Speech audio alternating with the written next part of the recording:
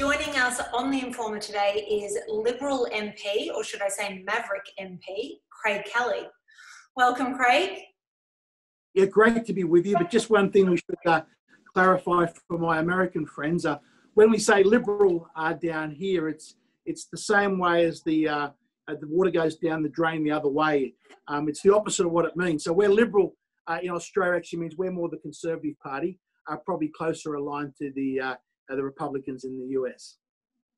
Now, there has been a lot of controversy around you and around a particular drug that everyone is talking about in regards to COVID, and that's hydroxychloroquine. So, why do you think there is so much controversy around hydroxychloroquine? Well, firstly, the way I got involved uh, in this is that uh, a couple of months ago it was now, I was just flicking through things on social media and I saw a, a Facebook or a YouTube uh, post that a gentleman called a Dr. Zelenko had put together out of New York. And this was at a time when it was the start of the, the outbreak of the pandemic, and there was a lot of fear about what was happening, a lot of bad news. And this Dr. Zelenko put together this video basically saying, hey, look, uh, uh, President Trump, I think I found something that can be really helpful. I think the combination of a hydroxychloroquine used with zinc can really make a big difference. I've, I've saved, you know, I've think it was a couple of hundred patients, and I've had no one that's been sick.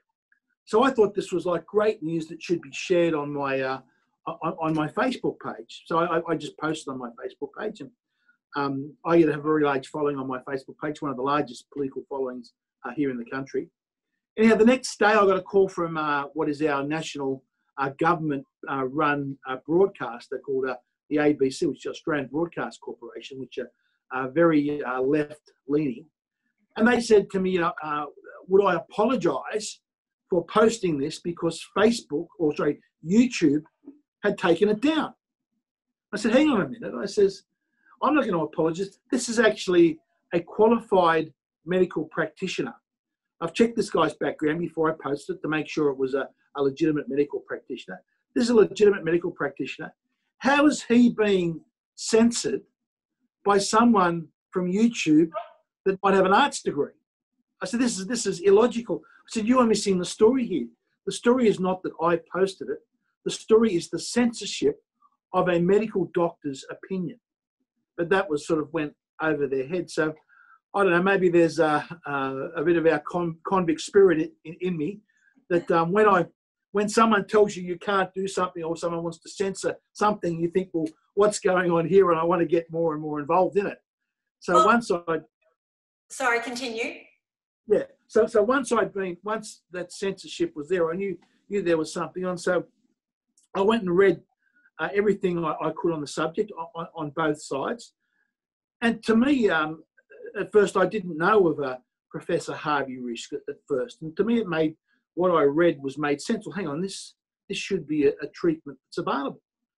And what astonished me that here in Australia, that we have states similar to as you do in the US, that we have a chief medical officer in each state, and they'd actually banned doctors from prescribing the drug. So they'd actually interfered in that sanctity of the doctor-patient relationship and said, doctors, you cannot prescribe this. And, and in one state, the state of Queensland, they actually put a jail term in there. So, so someone like a Dr. Zelenko that had prescribed hydroxychloroquine and saved the lives undoubtedly of you know countless of his patients if he did that in Queensland here in Australia, he'd be facing a jail sentence. And, and I thought, this is madness. This is complete absurdity. So I made a few speeches in the, in the parliament about it. And, uh, you know, sort of all the, uh, you know, the, the know-it-alls uh, on the other side of politics uh, uh, attacked me for it. But look, everything I read says that we are doing completely the wrong thing. And ultimately, it's not whether I'm right or wrong. All I'm saying is the freedom should be handed back to the doctors. It should be left in the doctor and patient's decision. It should, you should have trust in your family medical practitioner to sit down with you and go, look, you know, these are the pros, these are the cons, these are the treatments available. And you sit down and decide. That is what a free democratic society is all about. It's a hardcore totalitarian regime that says, no, we are going to, we medical bureaucrats know what's better, and we are going to override you doctors and tell you doctors what you can what you can and cannot prescribe when you have a lawful drug that's been uh, you know lawfully approved for I think something like 50, 60, almost 70 years. And this is, as I understand, the first time ever that medical bureaucrats have interfered and taken a, a lawful drug and said, no, you can't prescribe it for something off label. So, why do you think Australian politicians are doing that? Well, it's, our, first, it's, it's Australian, it's our medical bureaucrats mm-hmm. that are doing that. It's our chief medical, uh, you know, we've got a, a, what we call here a TGA, which is, I think, think similar to your FDA uh, over in the States. Uh, they've made a certain recommendation uh, that the drug shouldn't be used for, for COVID. We've also set up another body called the National COVID Evidence Task Force, and they put recommendations uh, that the drug shouldn't be used. And then there's and the state medical officer rely on those. But when you go and you ask them, okay, what have you based your decision upon? It's the most frivolous and scant evidence. The only thing they can hold up is what they call the recovery trial out of the UK, which they so this was the only randomized trial.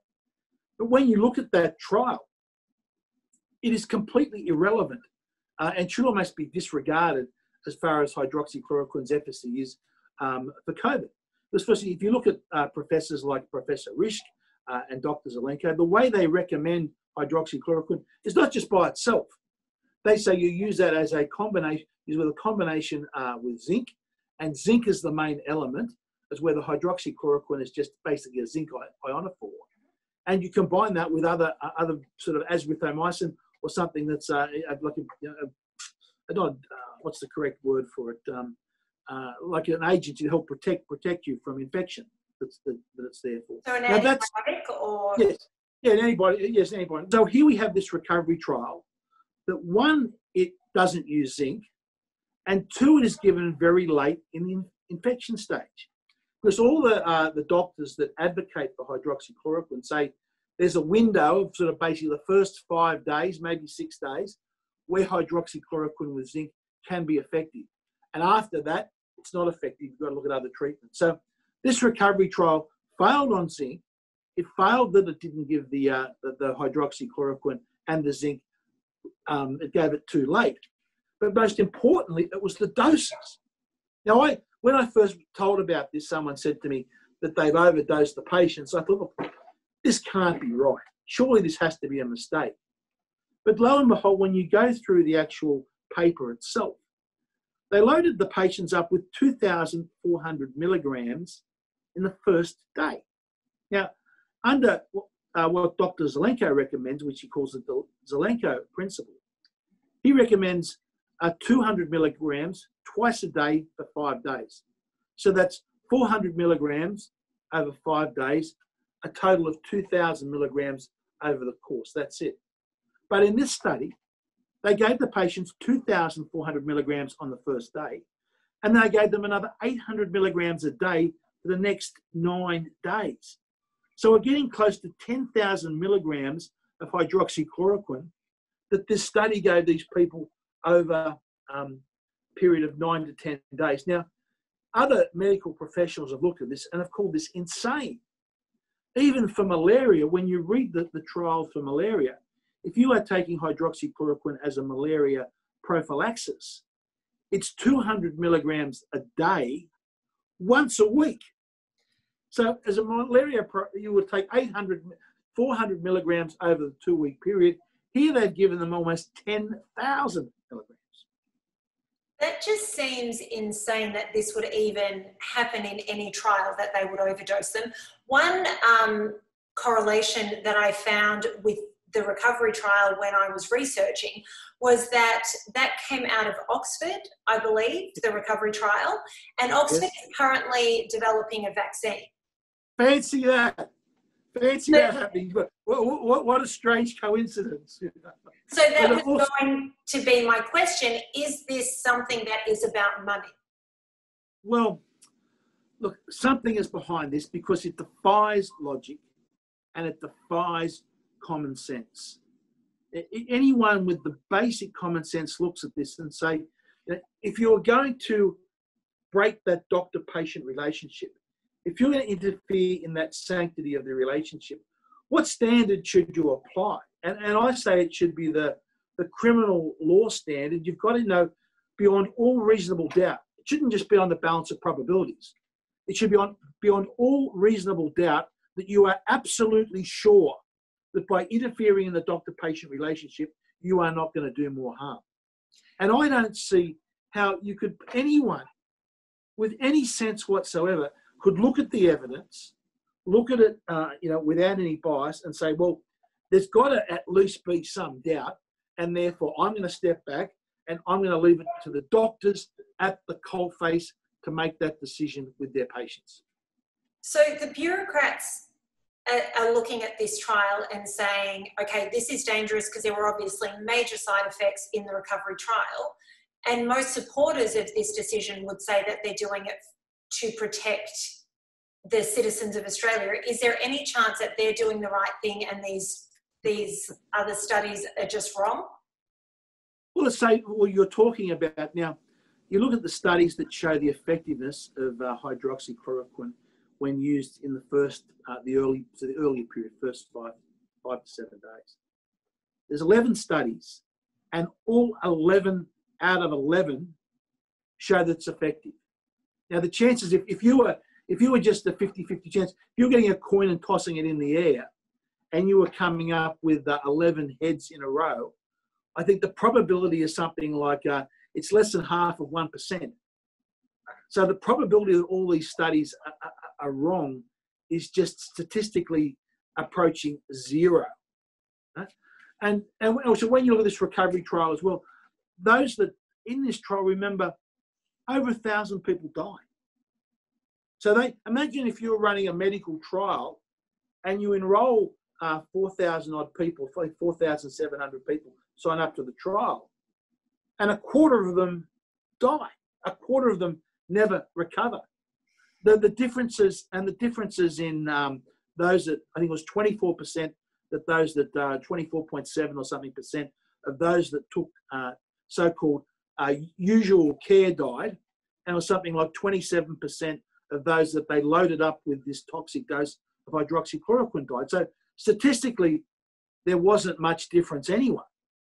And the idea that you've got to run some type of people, so you should run a, a proper full randomized trial to show that it works. Well, hang on a minute. What that actually means is that you've got to do a trial and you've got to have sick COVID patients at risk of death. And you may give them, instead of a drug that there's a very high likely chance it will save their lives, as part of your experiment, you're going to deny this and give these people a placebo, which could put their lives at risk. This, this is like Dr. Mengele sort of stuff, Dr. Frankenstein type, type of stuff of what they're asking for. Have you spoken directly to the Prime Minister about this? Yes, yes, I have. And, and also, his response? Well, they they fall back. Uh, all our ministers fall back on the reliance of what they get from the senior bureaucrats. So, uh, and I can understand that position. If, if I'm the, the health minister of the country, I've got all these health bureau, and neither of them are, are, medical doctors, so they've got to rely on the um, the advice that they are getting from the basically the bureaucratic structure that's in place there. So that I, I can understand their position. So this is why I've always been criticising uh, the decision basis of what these health bureaucrats are doing. Now, often people say, well, you know, you're not a doctor, Craig. No, I'm not. I don't pretend to be a doctor. But I know there are hundreds of doctors, if not thousands of doctors around the world that very clearly say that swear by this. There was a doctor in California, uh, I can't remember his name at the moment, but he said he's treated 1,700 COVID positive patients and had zero deaths, one hospitalization. And what has he done differently? He's used hydroxychloroquine and zinc in his treatment protocols. So, final question before we finish up part one of this interview. Okay. Do you have any allies within your own party or on the other side? Well, I have, on my own party, yes. There's a few very good uh, colleagues in my own party that have actually come out and supported me on this. Uh, and we've got a lot of other colleagues that at the moment uh, are sort of treading carefully but looking at it closely. And hopefully in the next week, we'll have a few more of them that will be prepared to uh, put their, uh, you know, cross the line and uh, cross the Rubicon, as we say, and, and advocate uh, for basically handing back the freedom to the doctors. Remember, we're not saying this drug works. Mm-hmm. We're not saying that. We are saying it should be left to the freedom of the doctors and the patients. And it is wrong for health bureaucrats in the government to interfere in that doctors' and patients' rights. Now, on the other side of politics, uh, unfortunately, um, uh, this is part of the campaign against this uh, is Trump derangement syndrome. Ever since President Trump spoke out in favour of it, there's been a large section of the media and politicians on the left uh, that have simply, this is a chance that I, I can show that uh, President Trump is not only wrong, but he's dangerous. And therefore, they simply can't, uh, it's almost as though there's some mental defect that's a switch that's clicked in their brains that doesn't look, doesn't enable them to analyze the evidence in a rational manner. So unfortunately, the, the other side of politics at the moment is completely lost. They're all suffering from Trump derangement syndrome as far as I can see. We have talked about Trump derangement syndrome on the program before. Uh, thank you so much. We are going to be right back with part two.